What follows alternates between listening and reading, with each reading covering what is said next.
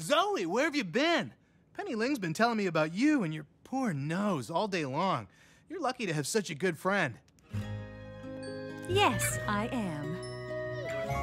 I wish we could have spent more time together, but my owner is here, so I must say adieu.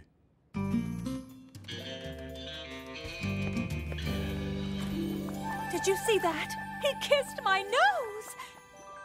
And he speaks French.